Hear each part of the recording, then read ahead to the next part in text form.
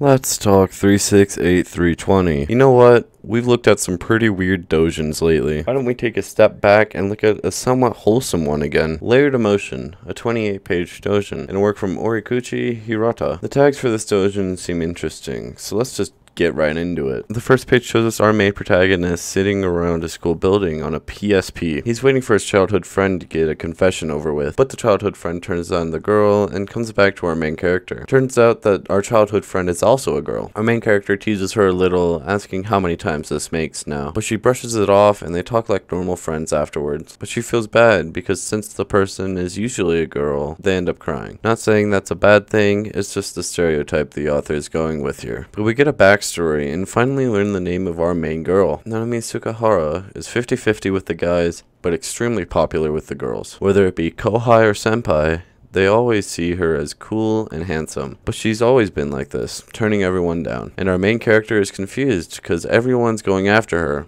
but she's wearing spats. Nanami's just having fun, she says. Our main character can't help but think that being popular would be a pain, and being single is fun in its own way. We cut to the next day and see our main character overlooking Nanami, who's getting another confession. This time it's a guy, and a guy who girls fawn over. He can't really hear what they're saying from where he is, but what he does hear is Nanami saying to give her some time to think. This really surprises our MC. Surprised him enough to the point where he's literally going to her house without telling her beforehand. And after Nanami goes to make tea, he goes to her room and starts to wonder why he came over without being invited, but drops it and finds a weird box under her bed. Inside the box was a very vulgarly designed swimsuit, and in walks Nanami with the tea, very angrily talking about how she told him not to touch anything. So our main character tries to play it off, but it's futile. Nanami takes out his knees because he wouldn't give it back, then asks why he's here. He stutters, but Nanami threatens him. So he asks how she's going to respond to the confession she got earlier, which she didn't know he saw. But his mind has changed to something else. His mind changed to thinking about whether she bought that bikini herself herself, which really gets her upset to the point where she almost throws a chair at him. Getting back on topic, she asks him what he'll do if she does go out with this guy. He didn't think that far and gets the feeling she'll be mad about his answer, but he didn't understand the point in him asking because he's just an outsider that acts like her childhood friend. Then goes back on that answer and saying he took things too seriously and stopped thinking realistically, thinking she would just turn down that guy like she did the rest. But he doesn't want to get in the middle of her decisions and tells her it may be best if they stop hanging out, even even if he hates to admit it. She's baffled,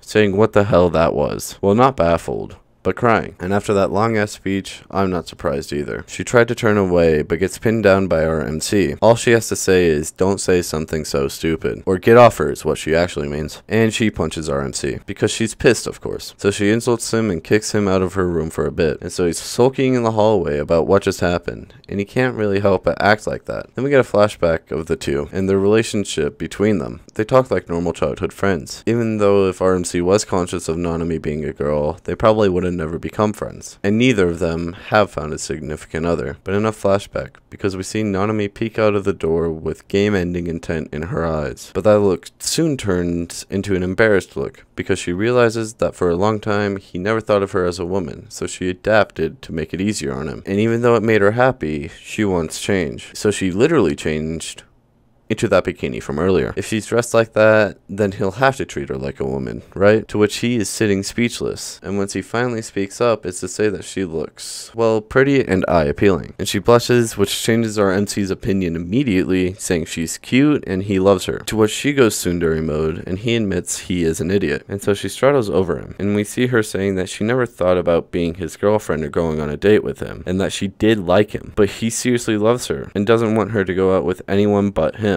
So they do the duo, and we cut to see them at school. Nanami has changed her look and it caused a stir. But since the change was external, she only got more popular with the girls. our MC hasn't changed, so he was about to leave. But Nanami grabs onto his arm saying wait up, because the two are dating now. And the dojin ends with our MC giving a monologue of him saying that he can't really compete with her. Overall, I rate this dojin a 9.5 out of 10. I like the plot, how the flashbacks tie into the plot, and the plot. I do recommend you read it for yourself, because it was a good read. But that's all I got.